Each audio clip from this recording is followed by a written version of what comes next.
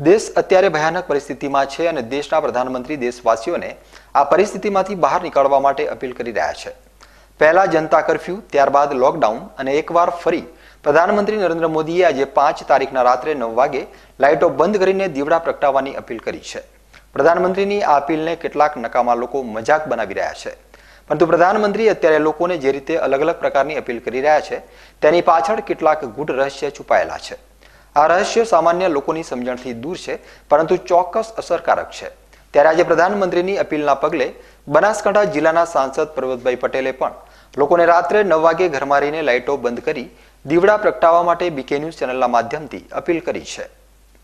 દેશના વડાપ્રધાન નરેન્દ્રભાઈ મોદીએ આજે પાંચ તારીખે નવ વાગે તમામ જનતાને દીવડા પ્રગટાવવાનું આહવાન કર્યું અને નવ મિનિટ માટે દીવડા પ્રગટા છે. ત્યારે અત્યારે આપણી જોડે આપણા બનાસકાંઠાના સાંસદ શ્રી પ્રભુભાઈ પટેલ છે. આપણે એમને પૂછવાનો પ્રયત્ન કરીશું કે સાહેબ, ખરેખર આ આહવાન છે એને લઈને આપ લોકોને શું સંદેશ આપવા માંગો છો? આજે પાંચ તારીખે દેશ પ્રાણીના પ્રધાનમંત્રી આદરણીય નરેન્દ્રભાઈ મોદીએ સમગ્ર દેશવાસીઓને એકસો ત્રીસ કરોડ જનતા એક છે જે કોરોના સામે લડવા માટે કટિબદ્ધ છે ત્યારે વાગે તમામ ઘરની લાઇટનું બંધ કરીને ઘરનો બધો જ પરિવાર ક્યાંય ધાબા ઉપર, ક્યાંય બાળકની ઉપર, કે દીવાબત્તી મીણબત્તી કે ફ્લેટ લાઇટથી પ્રકાશ કરે અને લાઇટો બધી બંધ કરે.